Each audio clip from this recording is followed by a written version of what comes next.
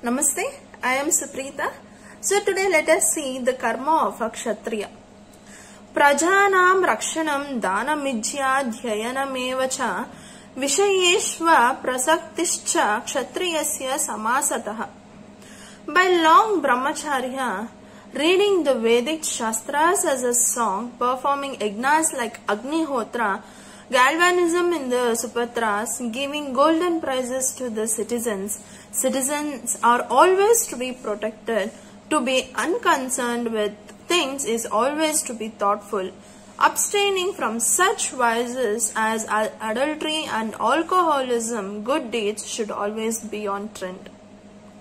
The defense of justice by justice means leaving the partisans, treating the noble and the contempt of the wicked. By all means, doing all the rituals in the pursuit of all religions, in the practice of Vedic religions and in the service of Supatra, doing the Agnihotra, reading the Vedas, studying the Vedas, arranging to study the Vedas and not the getting caught into things, being a Gentile and always being strong by body and soul. So when we see the imitation of uh, karma of Kshatriya, Kshatriya name is an indication of the karmana system.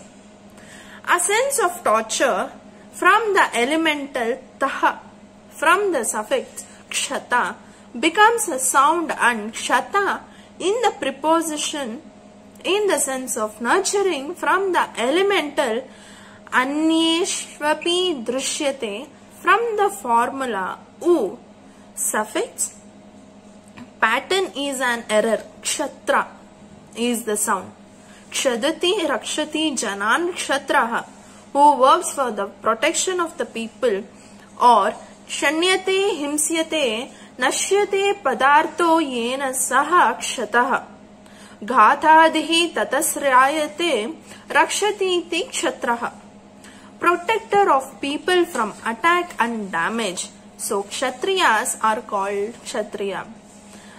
In brahmanical texts kshatram rajanyah kshatrasya va etadrupam yad rajanyah.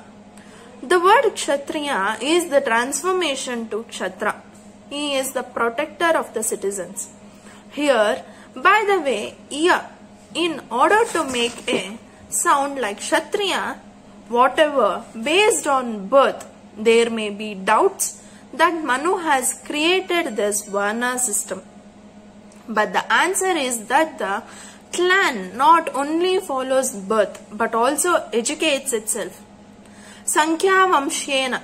From the formula, it is said that birth is caused by knowledge in Manusmriti 119 and 123 tells that birth is based on education. In this way, relationships are formed by the basis of cognitive functioning phenomenology.